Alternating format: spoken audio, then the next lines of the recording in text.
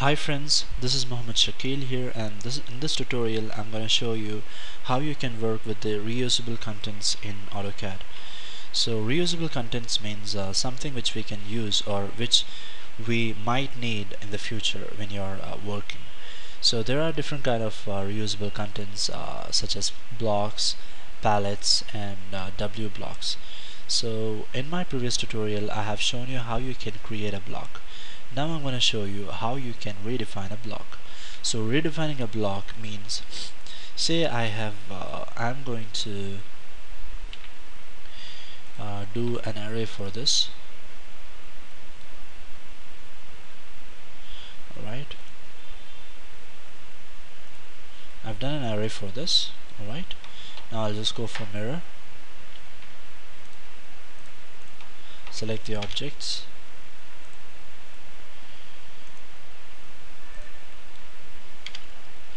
so we have the uh, different chairs placed on the uh, uh, different uh, what you can say. Alright now I need to I need to make some change. Say I, I, want a kind of fillet or something over here. So I need to make a change in one of the chair and I want the whole blocks to get affected. So what I can do is as you can see this is actually a group as a whole just go to the home and explode it once. After the first explosion it becomes different blocks. Alright? Now select one of the block and explode it once again. Now you can see it's exploded and it's no more a block. Now comes uh, the technique where you need to use it for uh, redefining a block so a lot of people have confusion how to redefine a block. So you can watch this video or you can put it in favorites or something. So you can watch it whenever you get some doubt. Alright so now put the block command once again. And what you can do is just select the block which we have created previously for this particular component. So it is new chair. So I'll select the new chair and I highly recommend that uh, you watch my uh, first part of this particular tutorial so that uh, you get you get to know this much uh, what I'm uh, doing right now. So just go for uh, so before doing the redefining block you need to make some changes right? I forgot about that. I'm sorry. So select the fillet and select first part or just press on a multiple. Select the first part radius and put the radius and select the second one alright do the same thing. Repeat.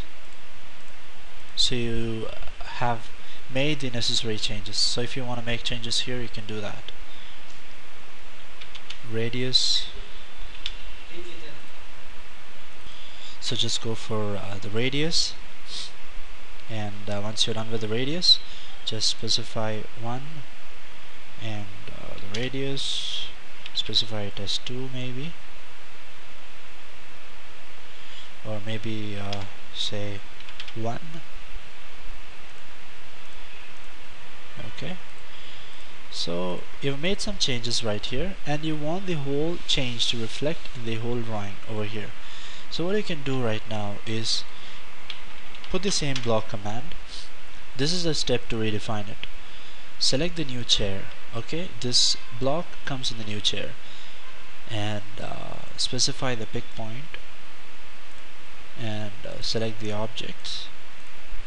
Press enter and just click OK. You'll get the option redefine the block or don't redefine new chair. Just go for redefining blocks. And you can see beautifully the whole chair which you have designed have all changed and the whole new chair the whole setup comes with the new redefined block so that's how you can redefining a block and you can create a block. In my coming up tutorials I'm going to show you how you can uh, uh, do work with the palettes and uh, W blocks which are very useful uh, components of uh, uh, reusable contents. I hope you enjoyed this tutorial and if you have any clarification doubts you can comment on my video.